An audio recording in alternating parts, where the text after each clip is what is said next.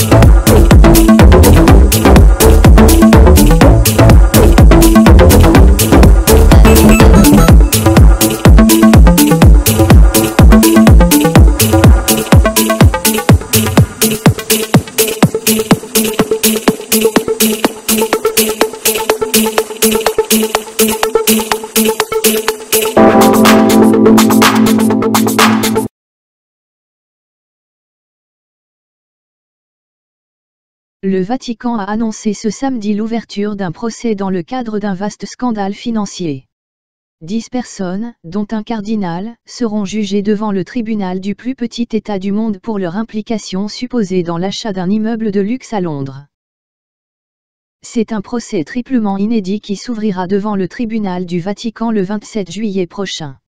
C'est d'abord la première fois qu'un cardinal, Giovanni Bexiu, ancien numéro 2 de la secrétaire d'État sera jugé par un tribunal dirigé par des laïcs.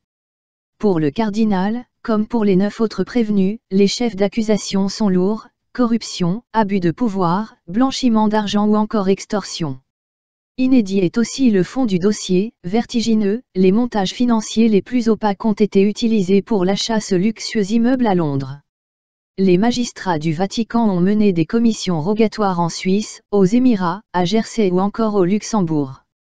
En s'appuyant sur des financiers peu scrupuleux négociant en son nom, le Vatican a perdu des dizaines de millions d'euros, les appartements à Chelsea n'étant jamais construits.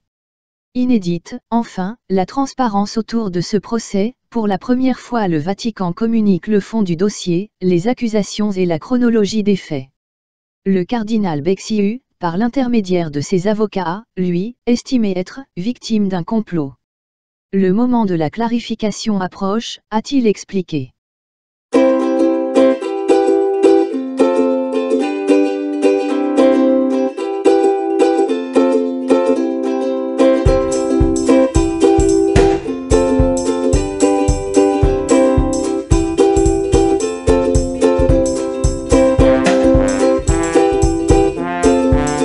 Pour Odenvalet, spécialiste des religions, l'envoi de dix personnes dont l'un de ses proches collaborateurs devant la justice est un acte courageux de la part du pape François qui pense que son temps lui est compté et qu'il est temps d'agir.